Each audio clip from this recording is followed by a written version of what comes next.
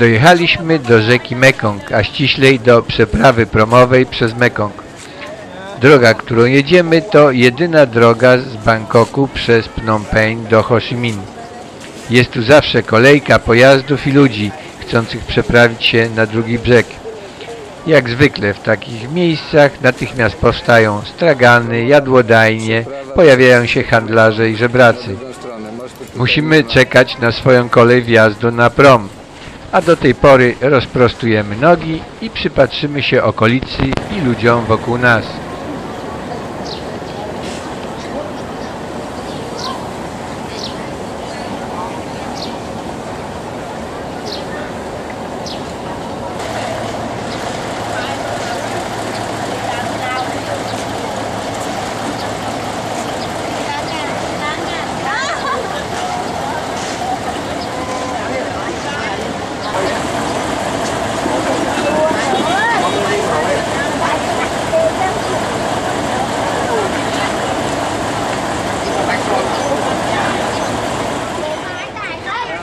Kiedy przypłynie prom, brama otworzy się i najpierw wyjadą pasażerowie, którzy tu przypłynęli, a potem my wjedziemy na prom i popłyniemy na drugą stronę Mekongu.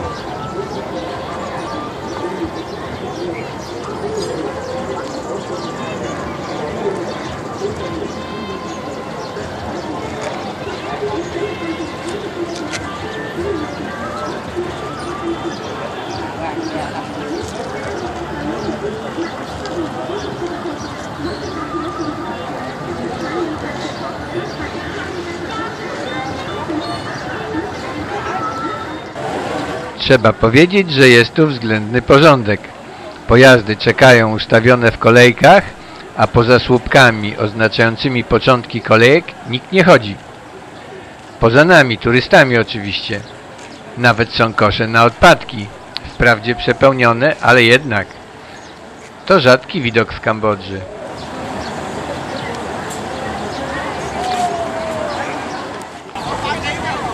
Na chodnikach pomiędzy rzędami oczekujących samochodów, przechodzących ludzi trwa sprzedaż, przygotowywanie posiłków, ich serwowanie, konsumpcja i zmywanie naczyń.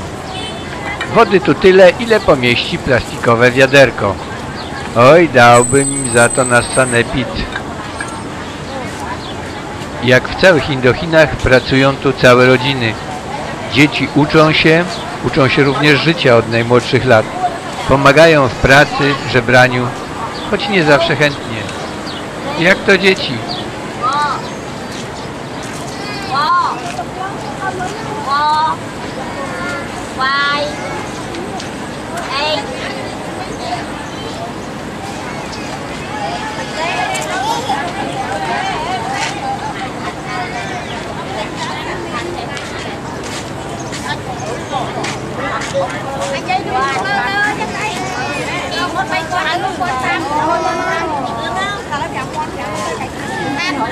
Đi hỏi lại cho con. Cái tình sao đi hỏi. Hãy subscribe cho kênh Ghiền Mì Gõ Để không bỏ lỡ những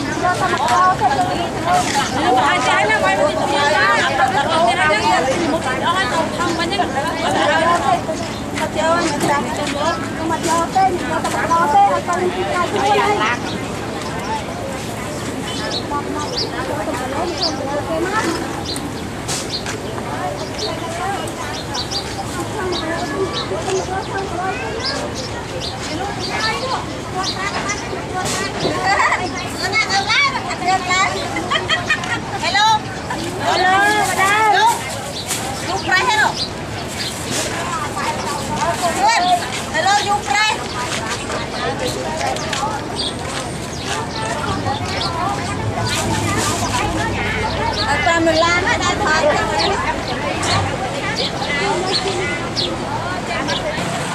No, ruszyło się, przypłynął prom.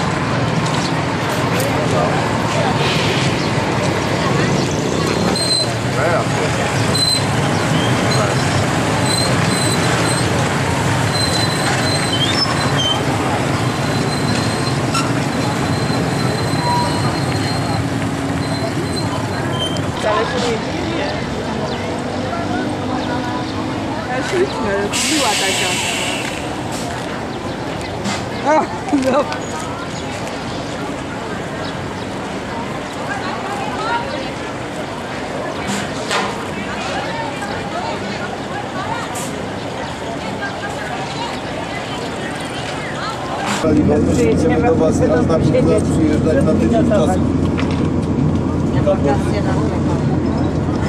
Nawet tu szczotki będziecie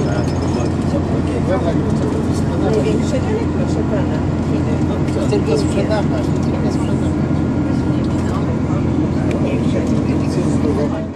Żeby coś sprzedać, trzeba przede wszystkim zwrócić na siebie uwagę i złapać tak zwany kontakt wzrokowy. Wtedy szanse rosną.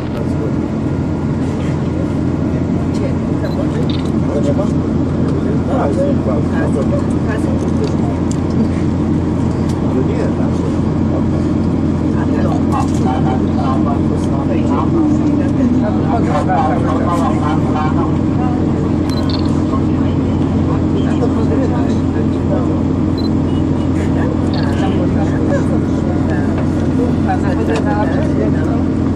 odmarzywała.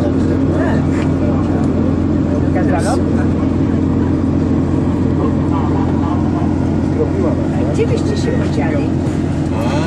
Tam robił zdjęcia służbowe. Takich samochodów nas nie ma. A jakie? Zdjęcia osoby z ciężarówki.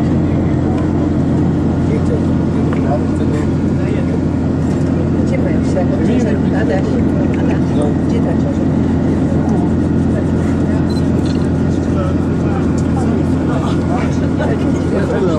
Za tym autobusem jeszcze, wiesz? O, bo nie patrz jakie tutaj Zastawiła robić. Dostała bataniki, ale nie chcę bataniki. Wiesz, od pani. Dostała Niezadowolony jestem. O Boże. Zadowolony. Sprzedaje. Bardzo zadowolony.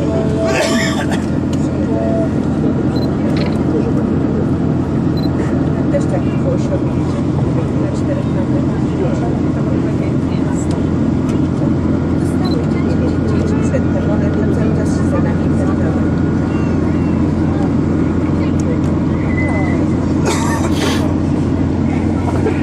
Nasz kierowca zapuścił silnik, czyli wjeżdżamy na prom.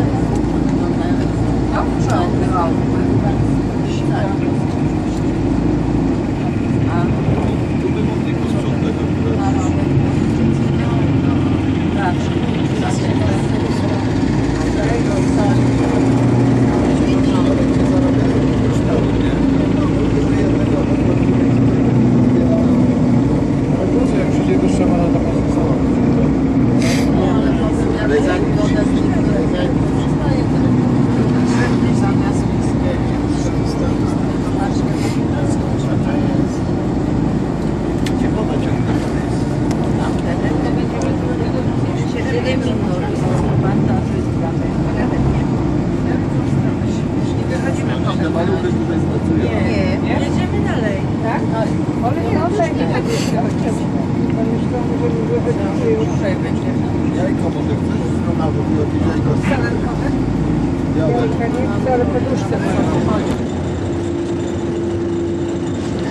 Promy, które tu pływają, zostały zakupione z holenderskiego demobilu przez miejscowych biznesmenów. Od dawna miał tu być wybudowany most i most od dawna się buduje. Na budowie mostu stoją jakieś ciężarówki, stoją również dwa dźwigi, a dzięki łapówkom biznesmenów most będzie jeszcze długo się budował. A oni będą zbijać w tym czasie fortunę na tej przeprawie. W takim układzie również urzędnicy nadzorujący budowę mostu są zainteresowani, aby prace przedłużały się w nieskończoność.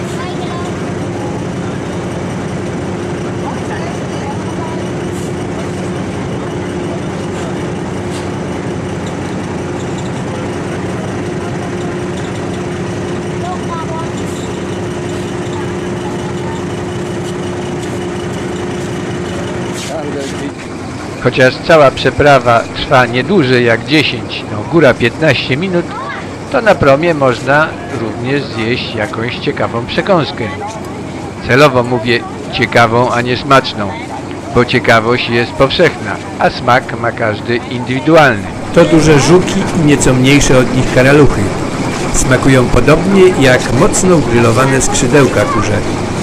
Zresztą wszystkie tego typu przekąski dzięki mocnym przyprawom i ostrej papryce podobnie smakują.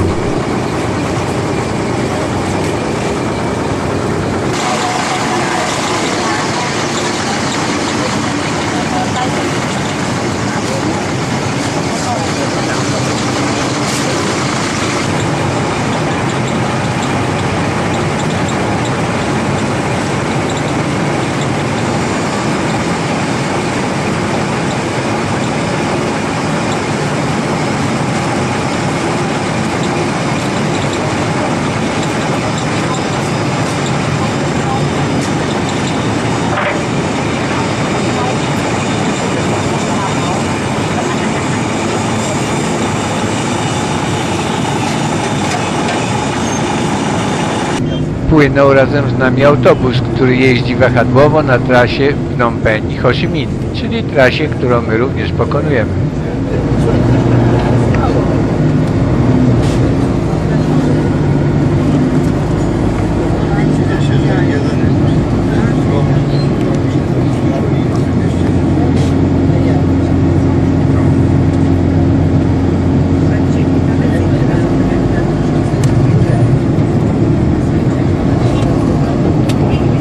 I tak słuchajcie, tam po lewej stronie, jak patrzycie, widać powiedzmy dwa dźwigi, parę ciężarówek, kilka barek. A jest to miejsce, gdzie z bólem i trudem powstaje most na Mekongu. Wy tak, wy żeście się przecisnęli przez Mekong w jego rozlewisku górnym. I w praktyce stąd do granicy jest tak mniej więcej godzina, godzina 15 minut jazdy. Ruch zawsze gigantyczny. Praktycznie najważniejsza jedna przeprawa w tych okolicach. W związku z tym ciężarówek, samochodów, frachtu, wszystko co jedzie do Phnom Penh albo jedzie do prowincji wschodnich Kambodży przebija się dokładnie tędy. To właśnie tutaj, słuchajcie, spadły na tą miejscowość spadły pierwsze amerykańskie bomby, które zostały upublicznione. Czyli to był ten pierwszy nalot, który udało się nagrać dziennikarzom i od którego realnie dochodzi do konfliktu na terenie Kambodży. Dzisiaj ta miejscowość słynie przede wszystkim z hodowli, słuchajcie, słodkowodnych homarów. Jak się trafię do restauracji w Phnom Penh, czy do, do restauracji tutaj do krewetek i słodkowodnych homarów, też zestawów hodowlanych albo z Mekongu będzie bardzo dużo. Plus główne, głó- główne życie i główny zysk to ryż. Tutaj wszędzie od teraz, jak będziecie jechać, po prostu będzie płasko i zielonkawo i będzie nam dojrzewał ryż. Potem jak zawsze ten chaos, który towarzyszy przeprawom promowym, niektórym kojarzy się to z granicą, natomiast zupełnie nie, do granicy jeszcze spory odcinek, tyle tylko, że zmniejszy się ruch. Będzie, będzie naprawdę bardzo mało samochodów, przynajmniej zazwyczaj jest bardzo mało samochodów na drodze. Droga jest dopiero co poprawiona. Praktycznie tak samo jak Tajlandia, w Kambodży również przydała się ta wielka fala wody. I pod Phnom Penh jak wyjeżdżaliście, to widzieliście porozmywane brzegi, potem znowu próba umacniania krawędzi. No i teraz dopiero co ukończono konserwację i oddano nowy odcinek drogi do miasta Ho Chi Minha, a konkretnie najpierw do miasta Bavet. I tak naprawdę, słuchajcie, ostatni moment, żeby spojrzeć na domki duchów. Jak przejeżdżacie przez Kambodżę i przez Tajlandię, to towarzyszą Wam przy wszystkich domach praktycznie przed najróżniejszymi przedsięwzięciami handlowymi malusieńkie takie wygląda jak kapliczki. Chociażby teraz macie po lewej stronie mijacie jest ich bardzo dużo, czy pod każdym domostwem, świątynią stoją domki duchów. Nawet nasze hotele mają opaszczone domki duchów. I one znikną z krajobrazu razem z przekroczeniem granicy. To nie dlatego, że Wietnamczycy nie są du- uduchowieni, chociaż z naszego punktu widzenia najbliżej byłoby nam powiedzieć, że Wietnamczycy nie wyznają żadnej religii. I tak też mają w dowodach, bo w wietnamskich dowodach trzeba wpisać religię. I praktycznie pomijając bardzo dzielne i nieliczne wyjątki, można powiedzieć, że wszyscy pisują sobie do dowodów jako niewierzący. Wkoło nas aż po horyzont pola dojrzewającego ryżu. Zbliżamy się do granicy z Wietnamem, a świadczy o tym wielkie, prywatne, ekskluzywne hotele kasyna gry. W sąsiedniej socjalistycznej Republice Wietnamu obowiązują podwyższone standardy moralności społecznej i w związku z tym gry hazardowe i inne, nazwijmy to, zabawy towarzyszące są zabronione, ścigane i srogo karane. Przedsiębiorczy Kambodżanie, wykorzystując ten niedostatek salonów uciech u sąsiadów, jak na złość tuż przy przejściu granicznym naszpikowali wprost miasto przybytkami niedozwolonymi u sąsiadów. No i cóż mogą na to począć biedni wietnamscy krezusi? Nie przeciwstawią się przecież naturze, sile wyższej.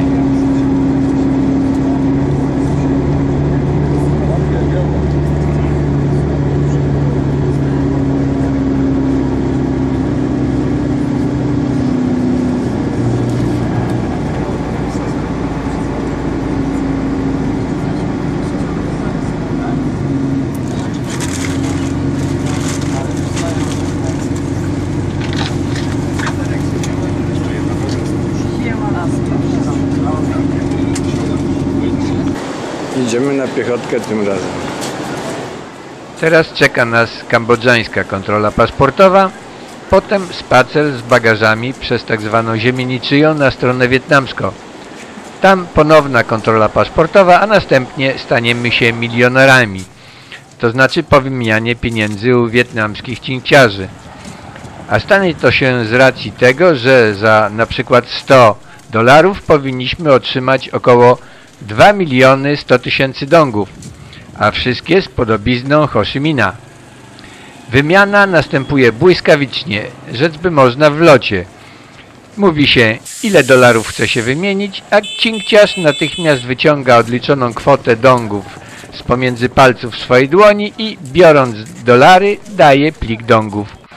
Cała operacja trwa sekundę.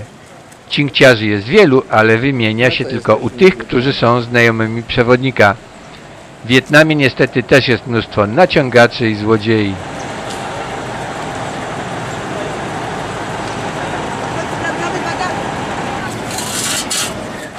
Stoimy na wietnamskiej ziemi, ładujemy nasze bagaże do nowego autokaru z wietnamskiej firmy Jinbo Tour i rozpoczynamy nową przygodę. Thank you.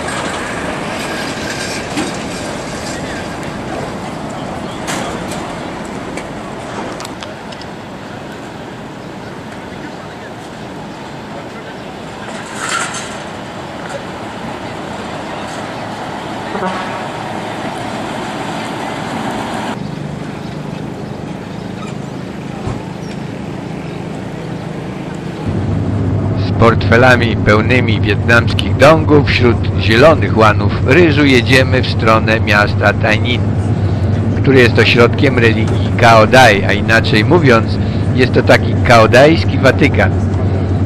Jesteśmy zaledwie kilkanaście kilometrów od granicy, a już widać kolosalną różnicę w zagospodarowaniu pól pomiędzy Kambodżą a Wietnamem. Oczywiście na korzyść tego drugiego. Wietnam jest obecnie światowym liderem produkcji ryżu. Ponieważ dobrze jest mieć świadomość tego, co nas czeka w nowym kraju, w związku z tym nasz przewodnik przygotowuje nas na spotkanie z wietnamskimi realiami. Krótko mówiąc, władza, czyli policja może tu znacznie więcej niż w innych krajach. Tak jak u nas, polowanie na kierowców, pamiętacie kiedyś przecież też Rosie, ten, piosenkę Rosiewicza, że gdzieś tam się, no to tam mniej więcej tutaj, no, po prostu gdzie tylko mogą, na wyczucie. I na przykład na wyczucie, przekroczenie prędkości, dwukrotnie, na wyczucie policjanta, to jest zatrzymanie pojazdu na parkingu policyjnym na 3 miesiące, żeby kierowca ochłonął, że mu przeszło. Brawurowanie po drogach. Stąd podanie dystansów na wietnamskich drogach nie bardzo ma znaczenie, bo to, co na przykład pokonuje się w normalnym kraju pół godziny, w Wietnamie to może być godzina 20 minut, godzina 30 minut ze względu na przepisy, bo w każdym mieście możecie jechać maksymalnie 30 na godzinę. I rzeczywiście to jest respektowane. 30 na godzinę jest przejazd przez miasto i tak sobie, i tak sobie suną przez miasteczka bardzo powoli.